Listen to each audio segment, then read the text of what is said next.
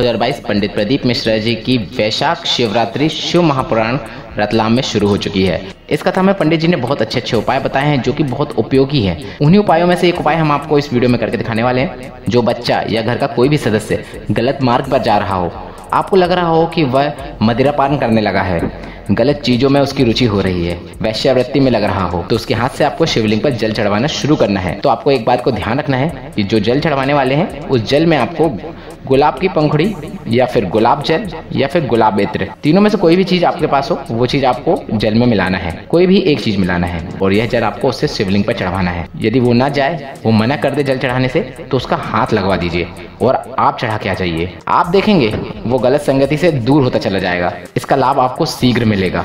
यह उपाय आप घर के बच्चे या किसी भी सदस्य के लिए कर सकते हैं। गुरु जी का बताया यह उपाय आपको उपयोगी लगा हो तो कमेंट बॉक्स में श्री शिवाय नमस्तुभ्यम या फिर हर हर महादेव टाइप करना ना भूलें।